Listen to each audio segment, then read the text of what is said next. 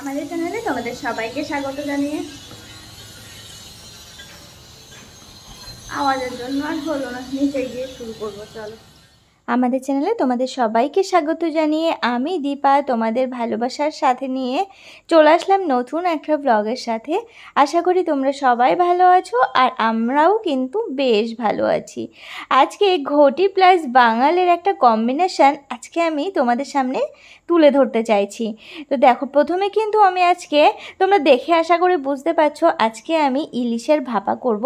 আর এই বছরের first time আজকে বাড়িতে ইলিশ ভাপা হবে। সাথে নিয়ে এসছে আজকে গলদা চিংড়ি, বেশ বড় বড় সাইজের। তো গলদা চিংড়ির আজকে একটু মালাইকারি করব। তো তার জন্য দেখো আর কি সমস্ত কিছু কাটাকুটি করা। আর বলতে পারো এবছরে প্রথমই আজকে গলদা চিংড়ির মালাইকারিটা বানাবো। গলদা চিংড়ির মালাইকারি আমি যেরকমভাবে বানাই, দারুণ টেস্ট হয়। তো তোমরা যদি বলো, কোনো একদিন রেসিপিটা শেয়ার করে দেবো। কারণ দেখো, যেটা বলতে চাইছি, এই চিংড়ির মালাইকারি বানানোর জন্য কিন্তু নারকেলের দুধ মাস্ট লাগে। তো আমি সে জায়গায় নারকেলের দুধ যদি না পাই, আমি সেখানে কি ব্যবহার করব। সেগুলো কিন্তু অনেকের মাথায় আসে না। কিংবা সবার বাড়িতে তো নারকেল থাকে না, তখন কীভাবে মালাইকারিটা বানানো হবে। তো সেটাই কিন্তু আমি বাড়িতে বানাই।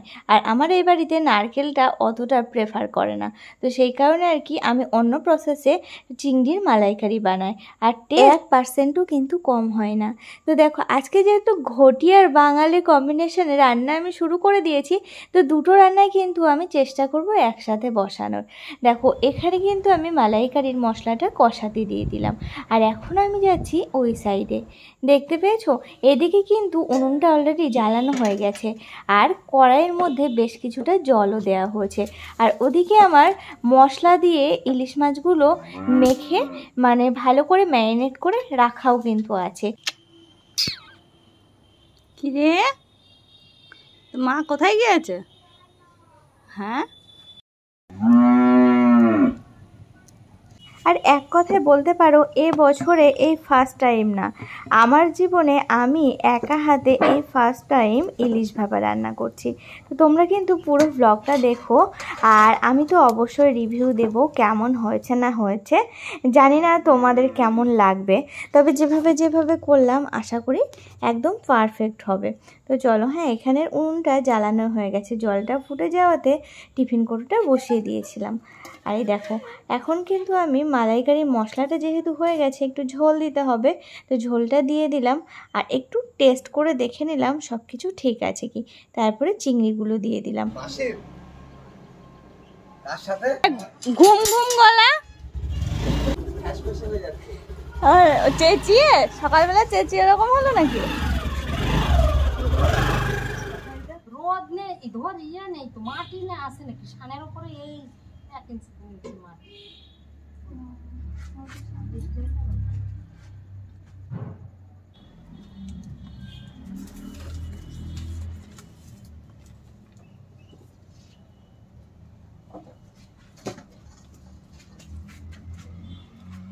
দেখো, দু জায়গায় যেহেতু আমি রান্নাটা চাপিয়েছি, তো একবার এদিক, একবার ওদিক, এই করতে হচ্ছে। এটা কিন্তু কমপ্লিট হয়ে গেল। আর দেখে আশা করি তোমরা বুঝতে পারছ কতটা সুন্দর নিজে হাতে কোনো একটা জিনিস রান্না করে খাওয়ানোর কিন্তু মজাই আলাদা, বাড়ির সকলকে।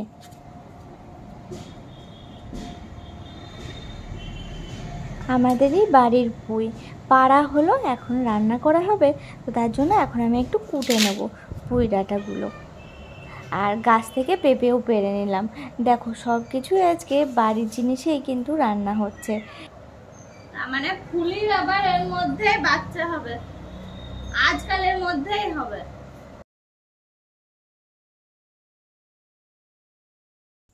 দেখো কথা বলতে বলতে ওদিকে কিন্তু ভাপাটা আমার হয়েও গেছে। চলো দেখা যাক। ও তোমরা হয়তো ভাবছ এই কপি ইলিশের জন্য এত বড় টিফিন কৌটা কেন? আসলে কি বলো তো ছোট কৌটাটা না কিছুতেই খুঁজে পেলাম না। আর যেটা খুঁজে পাওয়া হলো সেটাতে একটা জিনিস রয়েছে।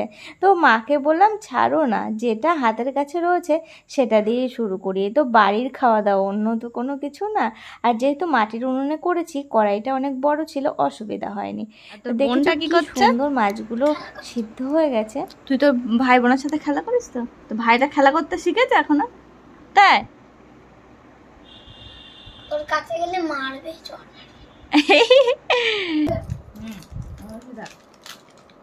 দেখছিলাম পাম অয়েল দিল পাম অয়েল তো সব কিছুতে না এটা রাইস ব্র্যান্ড অয়েল দিলাম।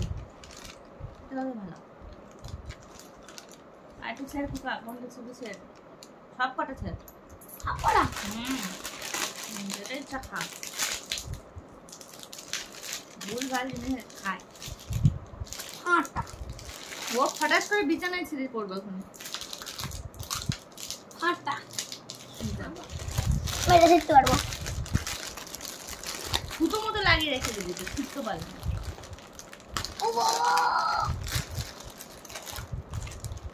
হুম, দাঁতের যে অবস্থা ছিটতে গিয়ে দাঁতই না ভেঙে। বাবা ঠাকুর দাদা সবার? ডেকে ফেল আবার ছুটতে এতক্ষণ তো আমাদের সাথে ছিলে, কিন্তু এই বাচ্চাটাকে তোমরা কি বুঝতে পেরেছ? এটা হচ্ছে আয়ান, আমাদের বাড়ির পাশের বাড়ি মানে নূরজাহানের দাদার ছেলে। ও না হঠাৎ করে আজকে আমাদের বাড়িতে আসলো মানে উপরে। এসেই বলে, অর্পণ চাচু কই? আসলে কি বলো তো ও না অর্পণকে খুব ভয় পায়। তবে আজকে কি সুন্দর আমাদের সঙ্গে পুরো মিলেমিশে গেছে। আর ওর খুব চিপস খেতে ইচ্ছা করেছে। তো বাজার থেকে আবার চিপস আনানো হলো। তো দেখো, সবাই মিলে এখন আমরা কিন্তু চিপস খাচ্ছি। অনেক দিন পর তাই বলছি উল্টো পাল্টা যা পাচ্ছি খেয়ে নিচ্ছি। দেখ বাবা নূরজানে চলে গেছে? নূরজান কালকে তো ছিল দেখো।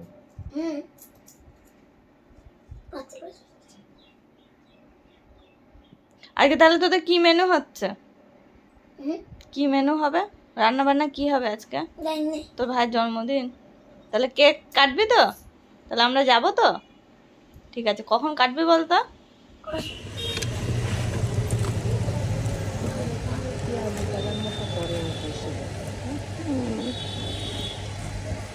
কে এটা? এটা বউ বৌদির জন্য নেবে বলছে? ওর বৌদি ওর বৌদির সার এইটা নেব? হ্যাঁ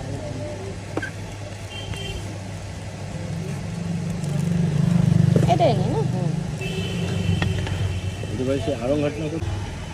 বুঝতে পারছি না।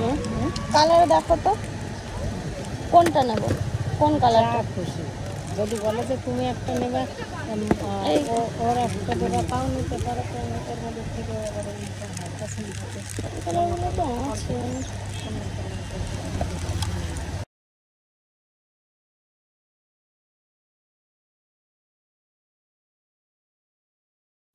কালার? আমার পার্পেল হ্যাঁ আমার পার্পেল বৌদির পিঙ্ক অর্পিতার এইটা এই তিনটে কালার। তুমি নেবে একটু? না। ইচ্ছা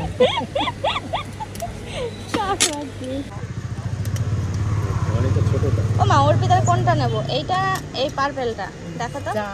ভালো দুটোই ভালো লাগবে। এইটাই নেই। চল।